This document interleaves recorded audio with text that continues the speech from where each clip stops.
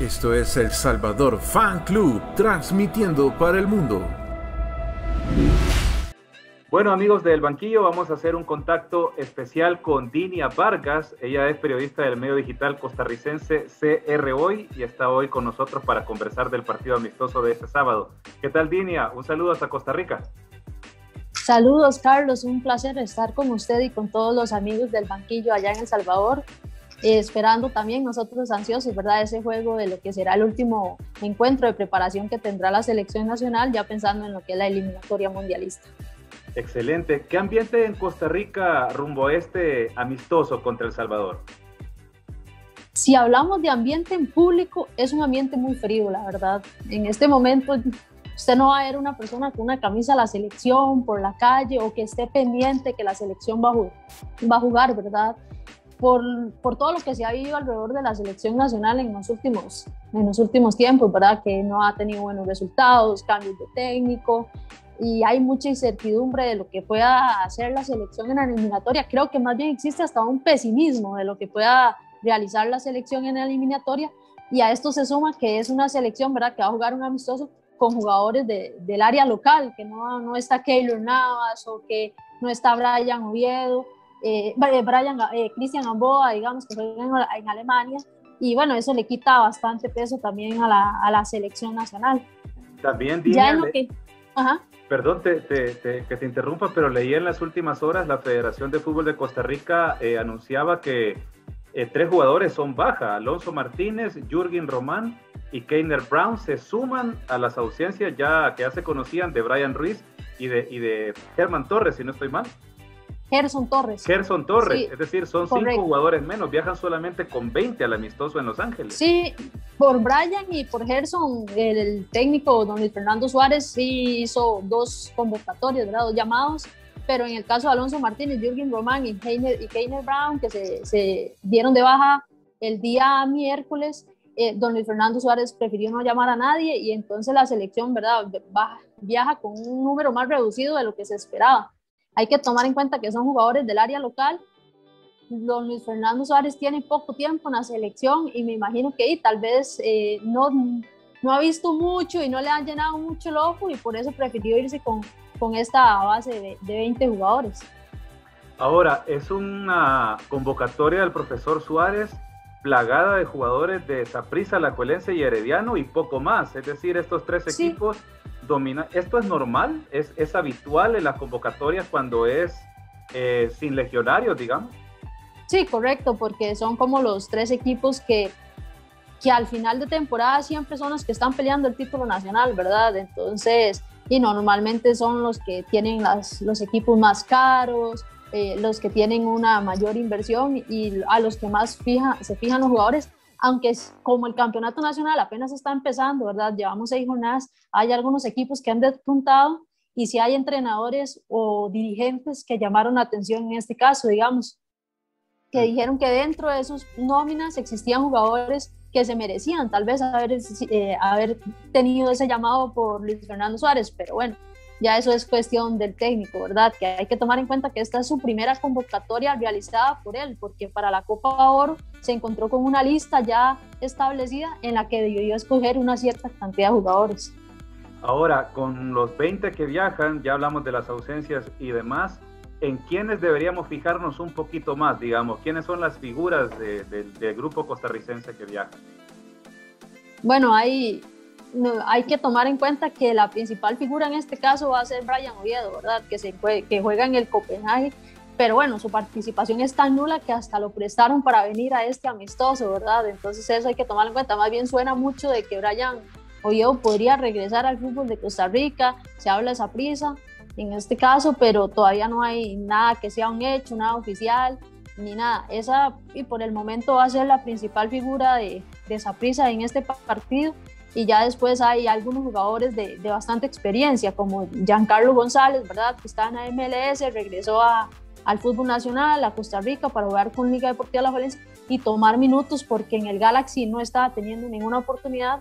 Y bueno, los jugadores buscan tener regularidad pensando en que viene la eliminatoria mundialista y que les gustaría estar en este proceso. Después ya hay algunos juveniles que llaman la atención y hay que ver y qué, qué oportunidad les da el técnico Luis Fernando Suárez. Cuando él llegó a Costa Rica fue muy curioso porque habló de Jefferson Bennett, el hijo de un exjugador, que era un, es un futbolista que, por ejemplo, en Herediano, que es el dueño de su ficha, no tenía regularidad o no jugaba, nunca había tenido casi participación y en, en, entrenamientos con ligas menores, don Luis Fernando Suárez lo vio y él dijo que era una lástima no poder contar con Jefferson Bennett en, en, la Copa Oro, que él lo fuera llamado, el muchachito tiene 17 años y ahora que pudo armar su propia lista, pues bueno, lo incluye y ya en Arellano también lo han venido poniendo en algunos partidos, lo que significa que bueno, que, escucharon también al técnico, ¿verdad? Tiene evidentemente un peso la voz del, del entrenador. Línea y una duda, ¿por qué algunos medios manejaban que iba a dejar fuera a Brian Oviedo de la lista? Sí, es que era duda por, número uno, porque y como él, hay que recordar que quedó fuera la Copa Oro por lesión, ¿verdad? Entonces eh, no se sabía cómo iba ese proceso de recuperación o si el Copenhague al, final iba a dar ese préstamo, pero bueno, si se da, llegó a Costa Rica, estamos 19, llegó el 17 según los datos de migración y bueno, ya hoy parte con la CL eh, rumbo a Estados Unidos porque la CL partió este, este jueves en horas de la tarde y solo ha tenido un entrenamiento, entonces él ya pudo estar presente. Bueno, dos entrenamientos en realidad, el miércoles y el jueves, y hoy jueves. Y, digamos, el caso de Ronaldo Araya, entiendo que juega con, con San Carlos, eh, también es, es, un jugador a tomar en cuenta. Cartaginés. A Cartaginés. Ronaldo Araya es una situación muy curiosa porque en este inicio de campeonato se ha convertido como una figura del equipo la figura del equipo era otro muchacho, se llama Christopher Núñez, él se va al fútbol de Grecia, de, en Europa, y entonces eh, Luis Ronaldo le toca tomar ese rol de protagonismo en el centro del campo. Sin embargo, en la primera lista de convocados, a pesar de que lo está haciendo bien, Luis Fernando Suárez no lo llama. Ahora se lesiona a Gerson Torres, se lesiona a Brian Ruiz y Luis Fernando Suárez decide llamar a, a Luis Ronaldo Araya. Entonces, no, quién sabe si, si será de esas opciones, ¿verdad? Que tendrá de inicio, tomando en cuenta que ni siquiera estaba en su primera lista, ¿verdad? Claro. ¿Y cómo está la imagen de, del profesor Suárez, eh, digamos, de cara a la afición y al periodismo en Costa Rica? ¿Está bien? ¿Está fría? ¿Está, está conectado con la gente? ¿Cómo está Suárez? La verdad, Luis Fernando Suárez, el cambio técnico, ¿verdad? Cuando Costa Rica decide cortar el proceso con, con lo que era Ronald González y apostar por Luis Fernando Suárez, le dio como un poquito de esperanza a la afición, porque, porque se cree en él, se cree en el trabajo, se nota que es un hombre trabajador. Y bueno, Costa Rica con técnicos colombianos, el último recuerdo que tiene es el de Jorge Luis Pinto, ¿verdad? Entonces, y su recuerdo en el Mundial de, de Brasil, entonces eso pesa mucho. La gente sí eh, como que siente que con Luis Fernando Suárez puede llegar disciplina, orden, eh, de que, de que tal vez los jugadores no puedan hacer todo lo que ellos, o mover, digamos, o, a haber un respeto muy fuerte en ese caso. No era que no lo tuviera con Ronald González, pero tal vez Ronald González sí, existía como un más acercamiento, digamos, y con Luis Fernando Suárez es un poco más, hay que ver qué, qué trae el técnico, ¿verdad? A la gente sí le gustó bastante el cambio. Sin embargo, creo que las dudas de la afición no es tanto el técnico, es el equipo que hoy en día tiene Costa Rica, qué tanto puede dar, qué tanto puede generar y hay muchas dudas porque vemos una selección de México muy fuerte y que tiene, si no tiene un equipo A, tiene un equipo B y los dos son fuertes, vemos Estados Unidos con la misma situación y a nosotros nos genera duda de si nosotros podríamos llegar a tener aunque sea un equipo titular fuerte. Ok. Y digamos, ¿qué tanto pesó la eliminación frente a Canadá en, Copa Oro para, para minar la imagen de la Sele? Sí, eso, eso fue un golpe muy fuerte porque mostró mucho de las, de las deficiencias que actualmente cuenta la selección nacional, ¿verdad? Fue una, un partido, veníamos de tres partidos ganando que no eran tal, tal vez el de Jamaica, que queda 1 a 0, ¿verdad? Que fue como un parámetro más cercano, tomando en cuenta los cambios que existieron, porque ya las dos selecciones estaban clasificadas, pero en el hecho de Canadá y Canadá sí fue un partido arrollador y dominante, ¿verdad? Donde la selección nunca encontró el control, nunca encontró cómo reaccionar y sí dejó al descubierto mucho de lo que tiene que trabajar don Fernando Suárez en, en este camino a iniciar la eliminatoria ahora en septiembre próximo.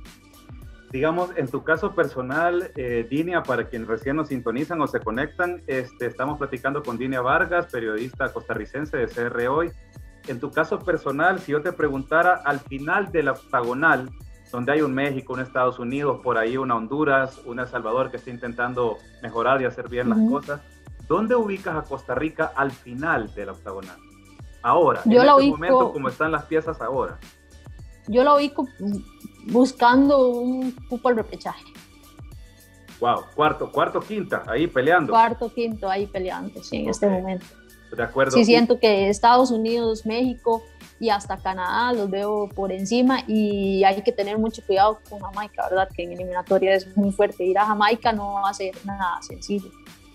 ¿Y qué te pareció la imagen que dejó la selección salvadoreña en esta Copa Oro ahora bajo el mando de Hugo Pérez tras la salida de Carlos de los Cobos? Sí, lo, la vi, la vi algunos partidos. Es una selección que lucha mucho, hasta don Fernando Suárez habló, ¿verdad? De la selección de El Salvador, la llenó de, de ciertos elogios, ¿verdad? Mm. Es una selección que, que lucha mucho, que tiene, eh, que corre mucho dentro del campo. Creo que su principal deficiencia es la definición, porque crea muchas oportunidades, pero de, cerca del marco, ese puntillazo final siempre deja alguna duda, siempre deja algo de que pudo ser más, ¿verdad? Entonces sí, ese es el problema y en este tipo, en eliminatorias eso es imperdonable. Mm.